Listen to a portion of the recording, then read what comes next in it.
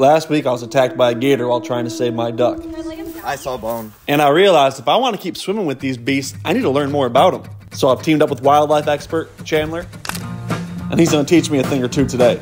Chobi means alligator in the Seminole language. Come on, big boy. Thank God I didn't bring my duck. Good boy. Why didn't you bring your duck? Too soon. This is the crocodile that bit my leg. Dang. Y'all still friends? Are we? Ah, I don't know about that. Bet you won't jump in there. Can I hop in? Anthony, What? you can't even walk. I ended up learning a lot, and will soon be ready to make my return to the waters.